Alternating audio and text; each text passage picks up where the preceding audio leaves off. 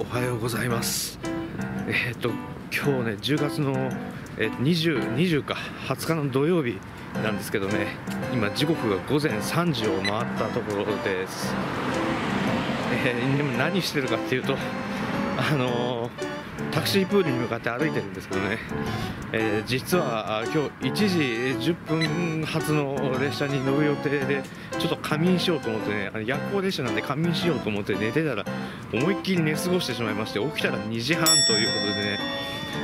えー、どうしようかあのね私今日の7時過ぎのプサン国際空港からの飛行機に乗る予定にしてるんですけど今ねこうあのー、グミなんですけどね。そこで今3時の状態です。で公共の交通機関ってねもう当然鉄道もバスもないんでこれからタクシー使ってちょっと空港まで行こうかなと思います。あのこの前ねあのここからテグ空港までタクシーで行ったことがあったんですけどその時ねあテグ空港じゃないな。トンテグ駅だった。なまああまり変わんないんですけどその時ね確か6万ウォンぐらいだから6000円ぐらいしたんですよね。で多分プサンのキメ国際空港までだったら2万円20万ウォンありゃ行くんじゃないのかなと思うんですけどまあちょっとタクシーの気分次第でねちょっとどうなるか分かんないんでちょっと遠いんでもしかしたらね拒否られるかなと思うんですよね。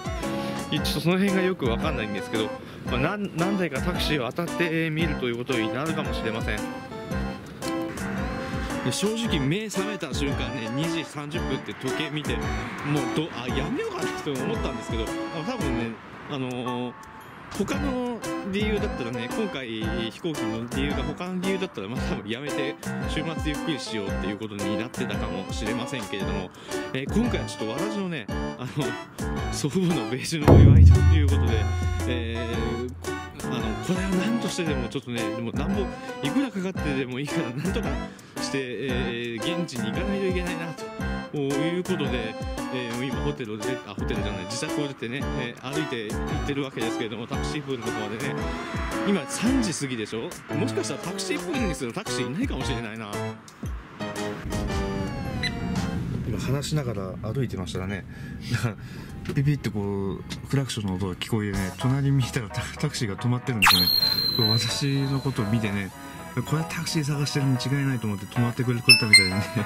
覚えてるけどちょっと遠いけどあの向こうの空港までプサンまで行ってくれますかって言ったら「まあいいよ分かった分かった」って言って乗っけてくれました助かりましたね。これで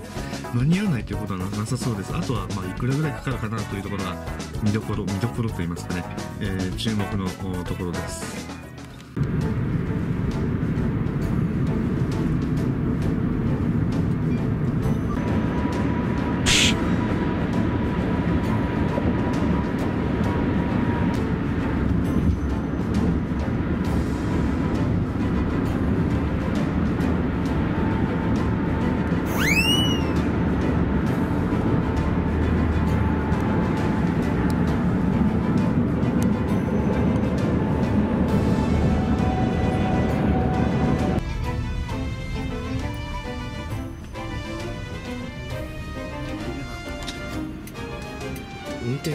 トイレ休憩ということでね、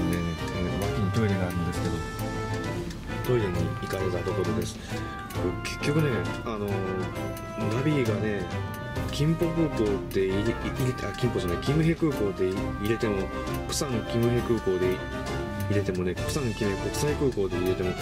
何入れても出てこないんですよねでも出てこないから仕方ないから結局ととりあえずプサンの方向に向かって、えー、走っていってるというとこなんですけど大丈夫かな？途中でねさっきあの LPG ガスの補充をしましたけどそのその時にも店員さんにねあの君空港どこか知ってるかってこう聞いてるんですよね。大丈夫かなと思うんですけどねこうででも私にこう何時までに着かないといけないの？みたいな感じで聞いてきたんででも 5, 5時半ぐらいまでに着いたらいいですかね？って言ったらあ大丈夫大丈夫みたいなこと言ってたんでまあ、大丈夫みたいな感じなんですけどでも多分本人分かってないんですよね、まあ、近づいていけばねあの看板でこう君国際空港ですからね、ま、間違いなく今こあの高速道路に看板が出てくると思いますのでそこまで行けば、まあ、あのナビがなくても大丈夫かなとは思うんですけど。まあ、今そんなところです。今時間がね3時56分もう4時ですね。あと1時間半で、えー、まあ、多分着くとは思いますけどちなみに今ね料金はね6万8700ウォンということで大体まあ7000円ぐらいということになってます。2万円までに収まってくれればいいかなといったところです。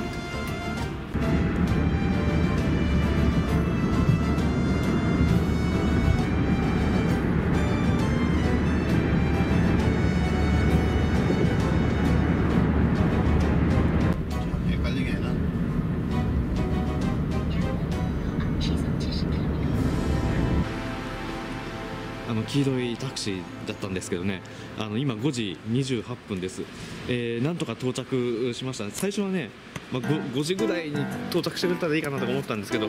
なんだかんだでね 時間がかかってしまって。あの途中でね本当あっちゃこっちゃ行ってあの結局ねあのトイレ休憩した時に私がちょっとナビでねあの地図機能があありますね。地図からこう設定できるやつがあると思うんですけどそれを使ってね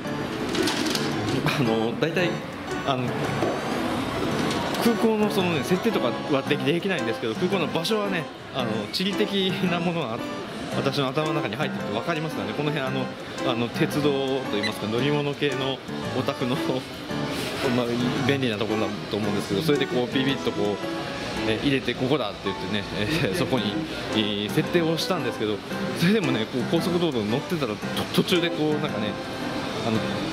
キムヘってねプサンとはまた違う方向にキムヘの市街があって、えー、キムヘはこっちだからこっちだろうとか言っていきなりこのナビを無視ししだそうとしだしていや違うここっちだよまっすぐだよって言って、えー、いうことになったりするわけですよね。で今度は金浦の空港の近くになったら今度ねあのニューポートって言ってあの港の表示が出るんですね。そしたらこの港の方に行こうとしていやそっちじゃないそ空港だからもっとまっすぐだよみたいな感じのやり取りを運転手さんとしながらこうずっと来ましたけどもやっぱ田舎の 運転手さんって本当にねグミの市街の運転手さんですから全然知らないんですよねこういうところを。